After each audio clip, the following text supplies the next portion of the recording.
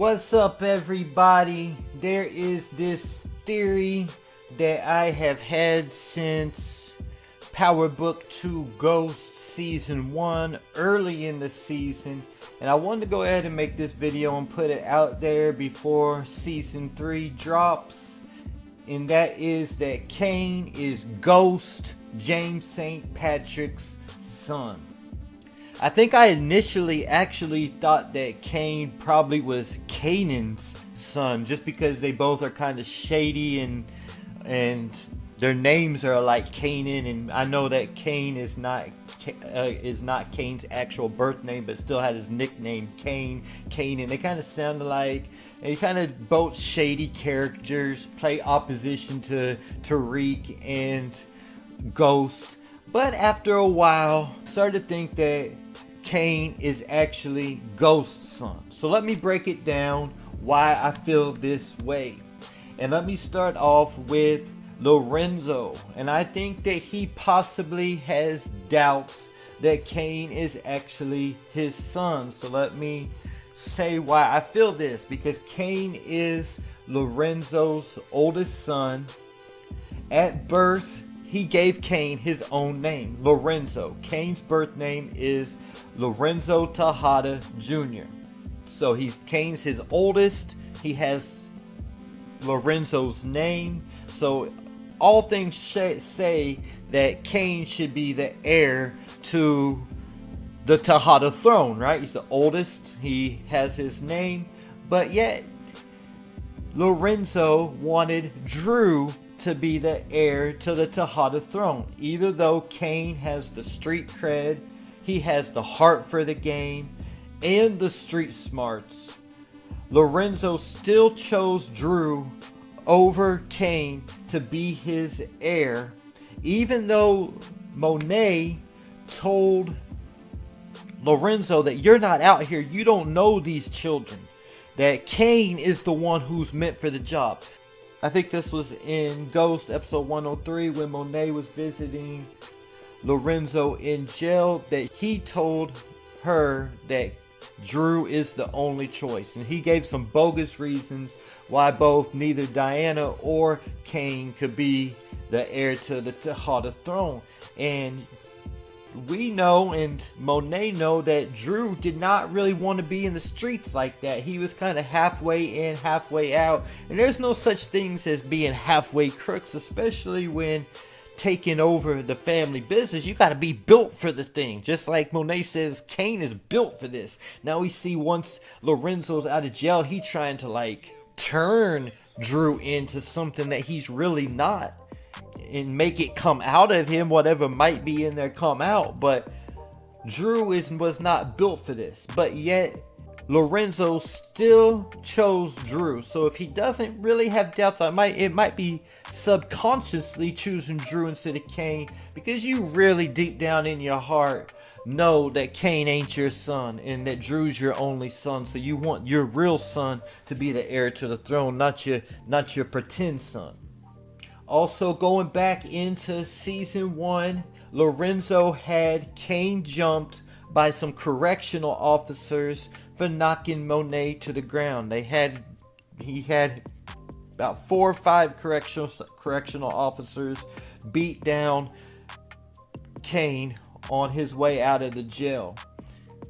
Now I just ask you the question. Is this how you would treat your own child? If Dru had done this to Monet, you think he would have did this to Dru? I'm just asking. I don't know.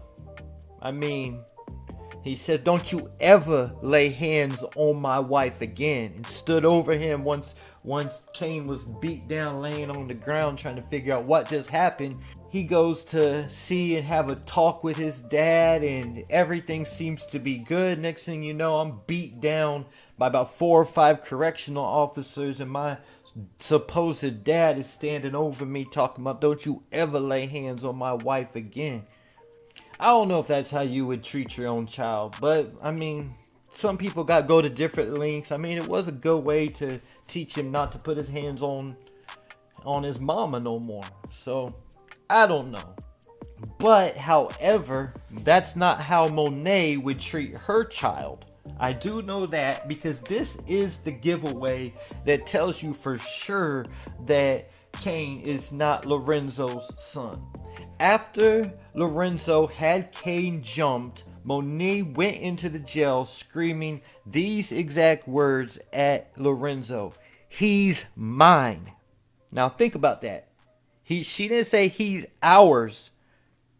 He's your son. She didn't say none of that. Why would you treat your son like that?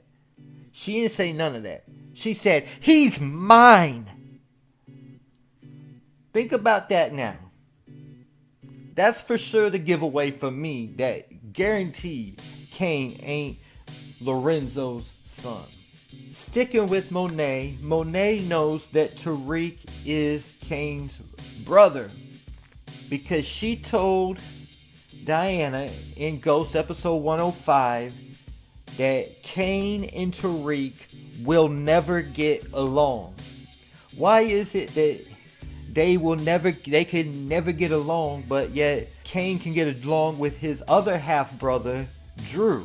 And that is because both Tariq and Cane are like their dad in meaning they're selfish in that they only think about themselves. So they need someone who, like Dru or like Brayden, who's not so selfish of a person, who thinks about other people to be their friend or something like that. They can't be, they will never get along because they're both, she's basically saying they're both alphas.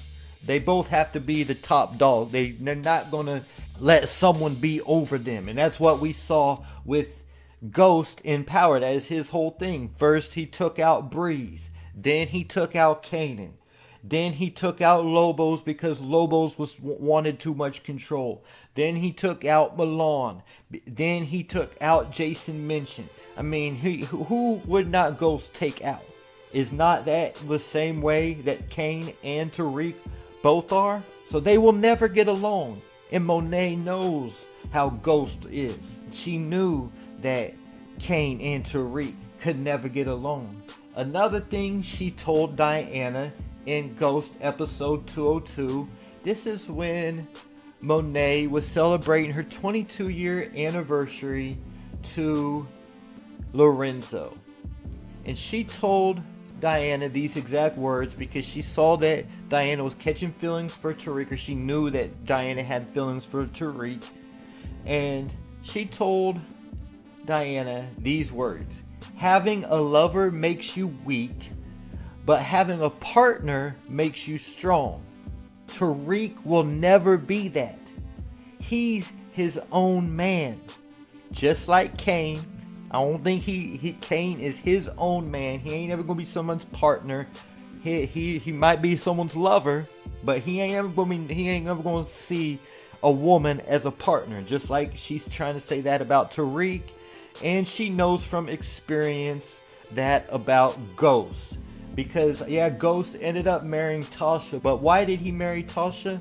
Because she knew too much. That was the primary reason why Ghost married Tasha, is because she knew too much, and then also she had his his ch- his children, the twins. But the main reason is because she wouldn't be able to testify against him because she knew too much. So if he broke up with her and they weren't married, he'd be feeling like, man, this girl could go to turn me into the cops because she knows too much. She probably knows about some people he killed and all kinds of stuff. So she knows where the bodies are buried, like Saxe said. I think Saxe said that. She knows where all the bodies are buried. She might not have been running the organization, but she knows where the bodies are buried. So she knew too much. So that's why Ghost ultimately married her, because he is his own man. Then that gets me to the similarities between both Ghost and Cane. In Ghost episode 110, Dru tells Cane, You only think about yourself. And what did everybody always say about Ghost? Tasha, Tariq, Kanan, Tommy. I don't know if Angela ever said that. I don't know if she ever believed that about Ghost. I can't remember if she ever said that or not. But I know everybody else who knew him like knew knew knew him really always said Ghost only thinks about himself. Only thinks about himself. He only works out for the best interest of Ghost. That's what Tasha said. At the end of the day, Ghost was looking out for the best interest of Ghost. And yeah, Dru said that to Cane's face. The only thing about himself, but I'm pretty sure Monet said that. I'm pretty sure sure Diana has said that. I'm pretty sure most people that know Cane pretty well know that Cane only thinks about himself, just like his papa, James St. Patrick. They are both snakes. If you have not watched my video on the top 5 snakes from the Power Universe, they were both on my top 5 list. Ghost coming in at number 1 as the biggest snake from the Power Universe. I know y'all might love his character. I love the character too. But you gotta call spade a spade, man. Ghost is a snake. Go back and watch the video if you need all the reasons why I say Ghost is a snake. And Cane came in at number 5 on the list, even though we've only had two seasons of Cane Tejada. He came in on number 5 on my list. Got a lot of similarities. Tariq didn't even come in on my list. Tariq, I don't see him as a snake. But Cane is also street smart like his dad. We already know all the moves, the chess moves that Ghost had been playing all, all throughout Power. We see Cane with similar strategies like Ghost would have, like how he robbed the the coke from Tariq and Brayden and replaced it with sugar so he could become the plug. Like that's that's some moves. That's some next level moves. And then he like like he told Lorenzo, and you think Dru should be running this. You think he the smart one. And just to throw this in there, we learned in episode 206 that Cane wanted to be a rapper when he was younger.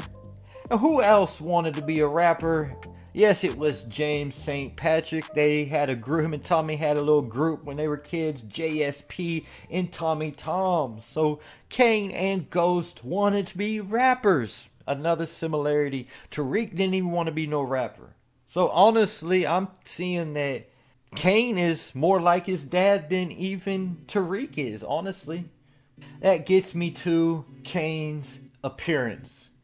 Now I might now now there might be some dark skinned, half black, half Puerto Ricans out there, but honestly for the most part I'm pretty sure most half black and half Puerto Ricans look more like Dru than Cane. Not saying that based upon appearance only that's that's a sole indicator that Cane is not Lorenzo's son, but it is a good indication.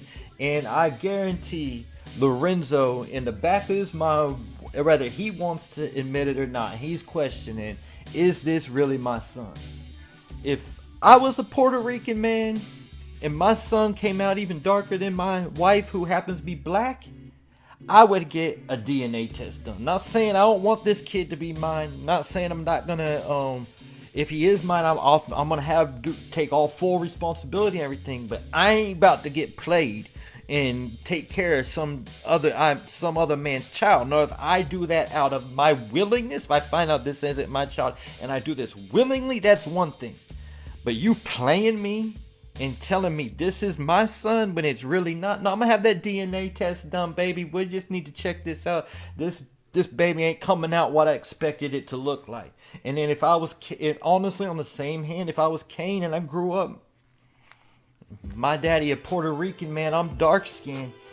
I'm gonna be thinking, man, is this really my dad? Unless there's some kind of like birthmark indication that says like this runs in the family and this is for sure, we're for sure relatives. They be they gonna be having that question. I'm sorry to say that. That's just the facts of life, man. Whether it, whether it could be or not, they gonna both be having these doubts periodically in their mind. Especially Cane gonna be have he he might have blacked out all those doubts his whole life because this man done taking care of him. This who he didn't call dad. But when he got that beat down at that at that jail that day, shit. Any uh any uh doubts he might have had came up. I guarantee at that time. Is this really my dad? He probably really thought at this point. He really started probably having questions at that point for sure. If he if he suppressed them for any for his entire life, he, they weren't suppressed no more. When he got that beat down at that and Lorenzo stood over him talking about don't don't you ever put hands on my wife again. It gets me to does Monet even have feelings for Lorenzo? Because she was first in love with Mecca and she had the child Zeke Cross. Then after that, she somewhere after that she met Lorenzo and lied to him and said he was her first. So she straight up lied to the man. She already done had a whole child, let alone being her first. While he was in jail in season one, don't forget that Monet was cheating on Lorenzo with Sergeant Ramirez. Not saying that she won't getting conjugal visits visits at the at the prison because she sure enough was, but she still felt like she needed to cheat on old boy. Then in season two, Ramirez is Ramirez is dead, but she finds her old lover Mecca, and she starts cheating on Lorenzo with Mecca now. On top of that, she wasn't even happy when Diana got Lorenzo out of jail. She was actually seemed a little disappointed about it. Like she was upset about it. Honestly, that's just my take. She didn't seem happy in my eyes. From my perspective, she didn't seem like she was super excited or happy about Lorenzo getting out of jail. She seemed like she was a little upset about it. Matter of fact, I think she threatened to kill Diana about the money, um, about lying to her. Some I don't know what it was about. But Diana said, "I thought you'd be happy. I got your husband out of jail." but she did say that she did tell Sergeant Ramirez in season one that Lorenzo's name gets me protection in these streets. So we see why she definitely wants to keep the relationship as less, at least as long as she was in the streets. But she didn't have because it, when Zeke was planning to make the NBA, Lorenzo was shown up not part of their exit plan.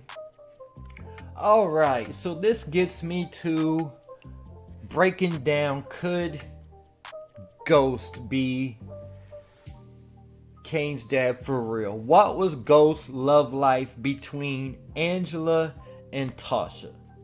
Cane is 23 years old. He was born in 1999, meaning Ghost would have been about 19 years old when Cane was born, maybe 18 or 19 when Cane was conceived. Angela left for Choate at 16. So this is a couple years after his relationship with Angela had already been over with. Ghost met Tasha when he was around 21 or 22 years old. Soon after that, he had hit, Tasha got pregnant with Raina and Tariq. So that is a five year period where we don't know about Ghost's life. We know he was in the streets. We know around this same age is the same time he killed Breeze because around 18 he told Tariq 18, 17 to 19 years old, I would guess is when he killed Breeze because he told Tariq that he was around your I was around your age. That's what he told Tariq about when he killed Breeze when Tariq asked him about it. He told him I was around your age. So we do know he killed Breeze around this time, but we don't know about his love life between the ages of 16 to 21. So we can expect that Ghost wasn't celibate for five years. We can't expect him that he was getting around because we do know a statement from Rashad Tate that Rashad Tate made once Ghost was dead, you don't want me to say what I know about James St. Patrick, that he was a murdering drug dealer that effed all around town. So we we don't even know him about him getting all around town like that. But Tate obviously knew Ghost got around a lot, so what was he doing between 16 to 21 as a young drug dealer coming up? I know what most young drug dealers be doing, they be getting around. So maybe he had a business relationship with Lorenzo and was getting with Monet on the side. Just a theory though. On top of that, Ghost and Monet are both around the same age and they are both from where? Dun, dun, dun, dun. Queens. Same hood, same age. You got to say, at, at least, these two probably know each other. At very least. Alright, as I'm closing up this video, in the very first episode of Ghost, Ghost episode 101, Tariq told Zeke, I don't got much family. Because Zeke was bragging about this is his auntie and uncles. He got a big family. Really, they're his brothers. But brothers and sister and mama. but he was talking about his family. Tariq said, I don't got much family. I think that might be, that statement might just happen to be a coincidence that he got a, he got a brother, Cane Tejada. Also, as I close this out, episode 210, Cane was willing to kill his own father, Lorenzo, who he thinks is his father. Lorenzo, the only convincing he needed, right, look, check this out. The only convincing he needed to take out his own father was that Tariq killed his father. Like, Monet told him Tariq killed his father. You should be able to kill Lorenzo. Like they really didn't want him. It was a part of a plan. They really didn't want him to kill Lorenzo. But the only convincing he needed to go through with the job, and he was about to shoot Lorenzo until Cane stopped him. The only convincing he needed was that Tariq killed his father. That's that sibling rivalry. They don't, they don't even know they're siblings. But that's that sibling rivalry, man. He couldn't let Tariq outdo him. I can't be outdone by Tariq. Tariq killed his father. Shoot, I'm gonna kill my father, man. I can't be outdone by Tariq. And there you have it. Why I think Cane Tejada is really Ghost James St. Patrick's son. Leave your thoughts in the comments.